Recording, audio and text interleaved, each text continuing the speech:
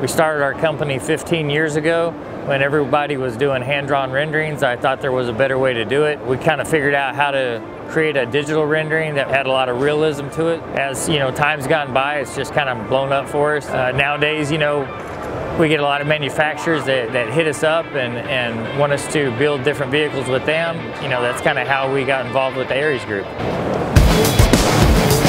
I'm Robbie with Keg Media. Uh, we're the industry leader in custom truck design. This year's show, we kind of cut it down a little bit, so we got 11 builds. Usually I do about 15. I wanted to focus more on quality over quantity. Uh, this Jeep we built for the Chris Kyle Frog Foundation. This is a uh, 2016 Rubicon. It's got a Sprintex supercharger on it. It's uh, coated in Kevlar. It's a uh, Yeti Kryptek uh, camouflage pattern. Um, one of the cool things about this Jeep is uh, we wanted to use all the uh, uh, product on here to kind of give it that snowmobile or snowplow look and we thought what a better way than to put a set of Mattracks on it and, and uh, you know finish off the look for it.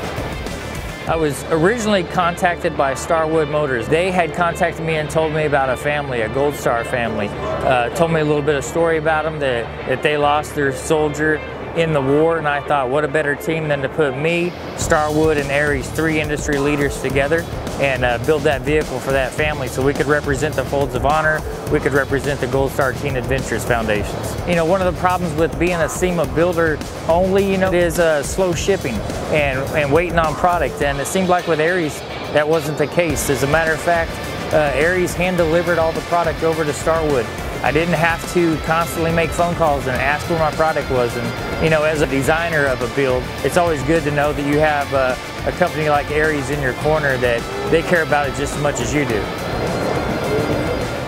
You know, I, I think we killed it this year with everything we've got.